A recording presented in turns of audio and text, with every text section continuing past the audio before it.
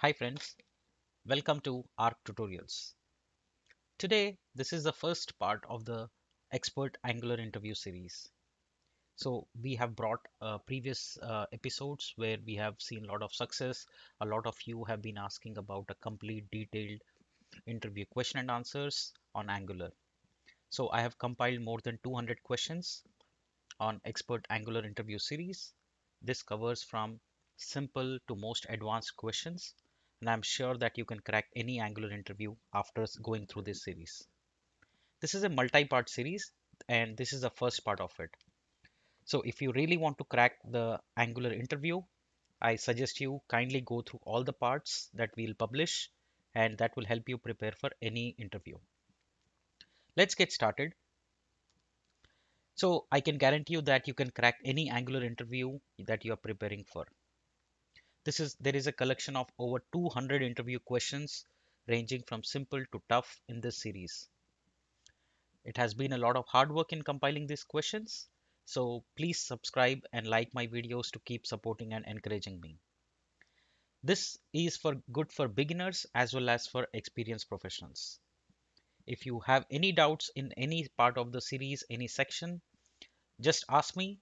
I would be happy to help you for free. Let's get started with Angular Top Interview Question and Answers Expert Series, Part 1. So first question is, what is Angular Framework? So Angular is a TypeScript-based open source front-end platform that makes it easy to build applications within web, mobile, and desktop. The major features of this framework are declarative templates, dependency injection, end-to-end -end testing, and much, much more features which makes it easy for faster and easier development of applications. So make sure always the first question how you answer will set the tone for rest of your um, interview. So so prepare these first few initial questions really well. Now what is the difference between Angular JS and Angular? So this is an interesting question that is asked to see whether you have really worked on Angular or not. So if you are a beginner make sure you understand the concepts and the difference between Angular and Angular JS really well. So Angular is a completely revived component based approach in which an application has a tree of individual components. So the differences between Angular and Angular JS are listed here. Angular JS is based on MVC architecture, whereas Angular is a completely component driven. This uses JavaScript to build the application. Angular uses TypeScript. AngularJS is based on controllers concept. Angular is a component-based UI approach. AngularJS is not mobile frame friendly framework, whereas Angular was developed considering mobile first platform. With AngularJS, it is difficult to have SEO friendly application development whereas with Angular, it's easy to create SEO friendly applications. Now the next question that comes is, what is TypeScript? So TypeScript is a typed superset of JavaScript created by Microsoft that adds optional types, classes, async await, many other features that, that and compiles to plain JavaScript. Angular is built come entirely in TypeScript and is used as a primary language. Now, how do you install TypeScript? We can install TypeScript by the command npm install hyphen -g that is install globally TypeScript. So what are the key components of Angular? So some of the key components of Angular are components. Those are the basic building blocks of Angular framework. And then you have modules.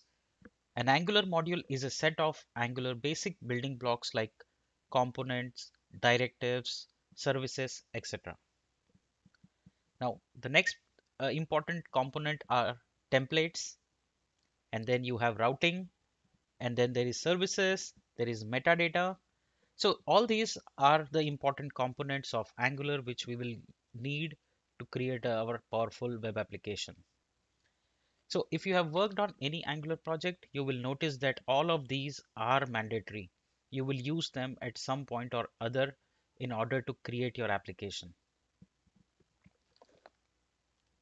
The next question is what are directives? So directives add behavior to existing DOM element or an existing component instance. So for example, if you want to add certain behavior to a component or an element, we can create our own directives. Now here in the example, you can see we are creating a directive using at the rate directive decorator and we are calling it selector as my highlight. Now this is this is just adding a background color. So it's a simple directive which is in the constructor it's adding a background color as yellow. And how do we use that? Is simple. We can just call it in the in the directive in the element as paragraph you can see my highlight. So that's how we can simply call any directive. Now see so this is an important question. So remember friends, let's go through it again just to make sure that you understand the concept correctly. Here, the, the import the meaning of directive is that it is used to extend the behavior. So that is what you have to convey. And here in this particular example, what we are doing is we are telling it to put the background color as yellow. Now that that itself is a directive and how do we call it? We call it by just uh, putting the paragraph and then passing the directive, just like an attribute. We'll cover more uh, in detail about directives when we come there, but this is a good starting point for you to understand. All right. So the next question is what are components?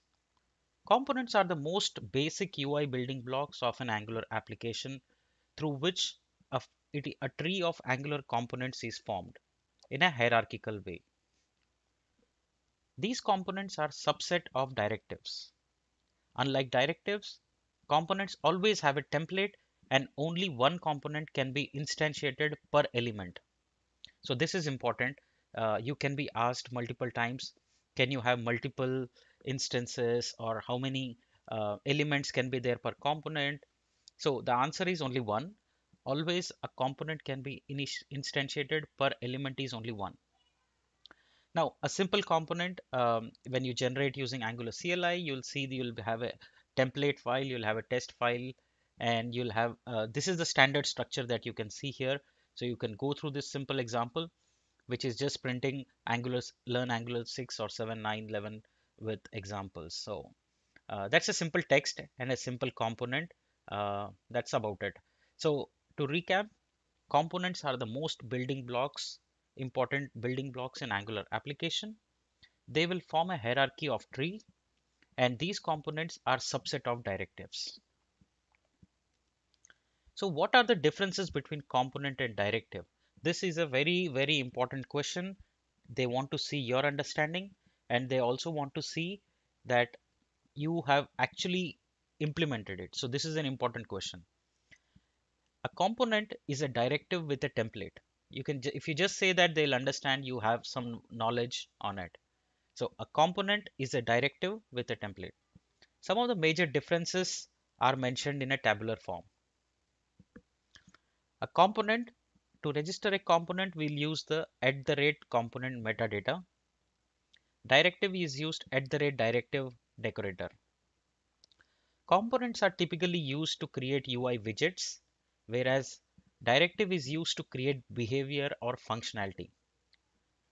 Components is used to break up the application into smaller components. Directive is used to design reusable components and features. Only one component can be present per DOM element, whereas a directive can be can many directives can be used per DOM element. View decorator or template URL are mandatory directive doesn't come with a template. So go through these differences again, friends. Ask me if you have any doubts, just drop them in the comment section. I'll be happy to provide you for free. Now, what is a template? A template is a HTML view where you can display data by binding controls to properties of an Angular component. You can store your component's template in one of two places. Either you can define an inline template or you can define a separate HTML file and just link it using template URL. So basically template is your view that appears. The HTML, the CSS, all that jazzy stuff of UI is in a template. Now, how do you define an inline template syntax? So here the difference is important is in how we call the template. So if you see here, we are having at the rate component and selector my app, and then, then we have template. So since we are putting a simple template, it is right here in inline within the component. So div h1 tag did div div, right? So this is a simple template, so I can put it here. But when you when your template size increases, you don't want to have it in the component. So what we can do is the next question. So remember inline template is nothing but when you have your HTML template and view written inside the component, it becomes inline template.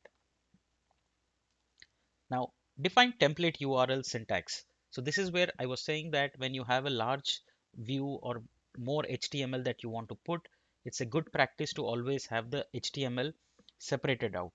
So if you see here, I am putting something called template URL. So this is a parameter, uh, this is the syntax. So template URL, and then you will pass the HTML file to it. So this is called template URL syntax. Now what is a module? Modules are logical boundaries in your application and the application is divided into separate modules to separate the functionality of your application. So think of it like this. If you have multiple functionalities like users, comments, likes, or say videos, or you know, uh, links. So all these individually can be broken down as a separate module, which can be used, reused multiple times. So you logically bind things in, uh, logically put multiple things into one place or group them together that becomes your module. Now take an example of app.module.ts root module declared. Now we are declaring a module using ng module. Now ng module will take multiple things as inputs like imports, declarations, bootstrap, etc.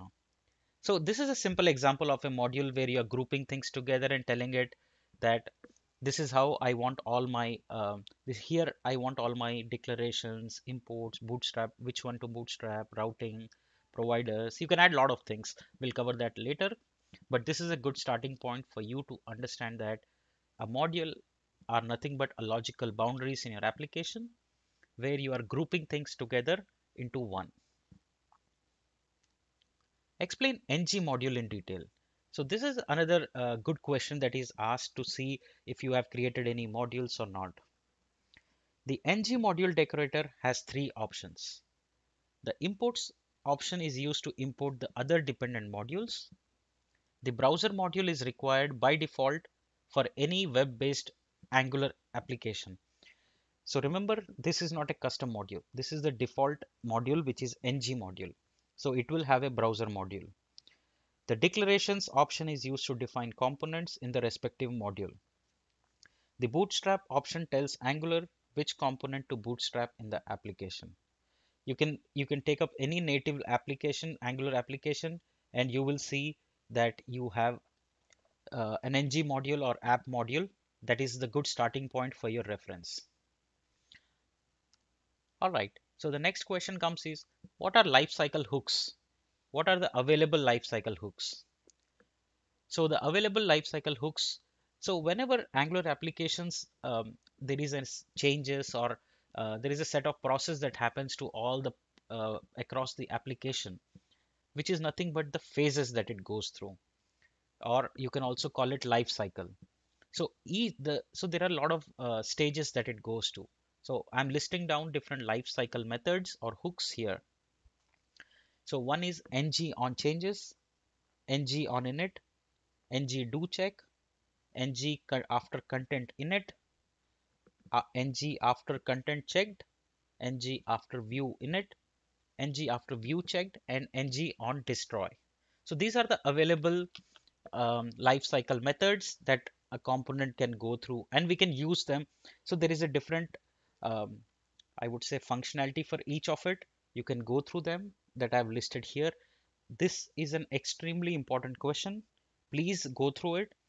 Uh, let me know if you have any doubts or queries. I can provide more examples. Just keep reading through it and prepare this question really, really well. If you're not sure, just just read out whatever is written here in the um, slide. All right, so that brings us to end of part one. I will cover the other questions in part two and three. There are totally 11 parts of this series. If you go through each one of them, you will be able to crack any Angular interview that you're attending. That's 100% guaranteed. If you still have any doubts, any queries, drop them in the comment section. I will be happy to help you for free. Friends, I request you to kindly subscribe to my channel to keep supporting and encouraging me. Thank you so much for joining in today's episode. I'll see you in the next part of Expert Angular Interview Series Part 2.